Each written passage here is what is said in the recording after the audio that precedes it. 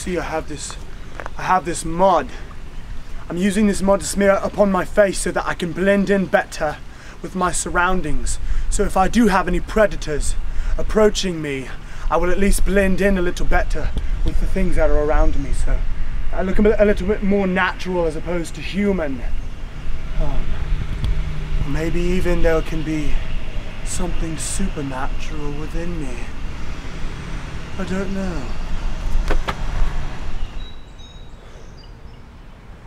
Life around the South African riverbeds can be very brutal, especially when I'm on the pursuit for an African flabbergaster. Now, there are many things you need to know for survival. What berries to eat, what leaves to use as band-aids, which animals are not your friends. There's so many things that you need to keep in mind.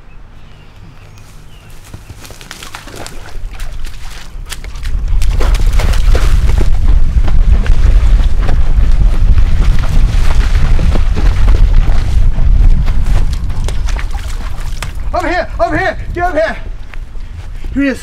Here he is! Here he is! Are you coming in close? You got him. You see him? You see him? I got. I got him. Oh, there he is. There he is. There he is. I got him. I got him. I got, him. Oh. I got a silver flabbergaster. Uh, uh, uh, uh.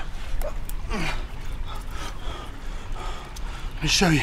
Let me show you this little bugger. Look.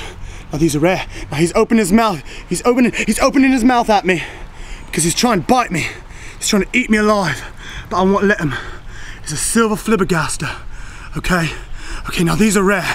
There's probably like five of these left in the oh in the whole world. Oh, I got him. I got him. I got him.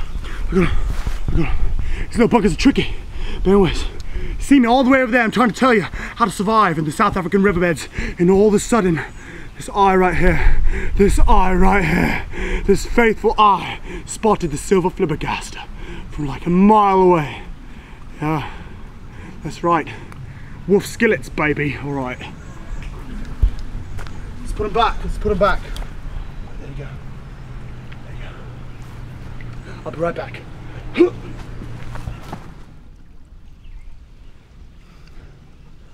Life can be wild. But let me tell you something. There's no mountain too tall, no valley too deep.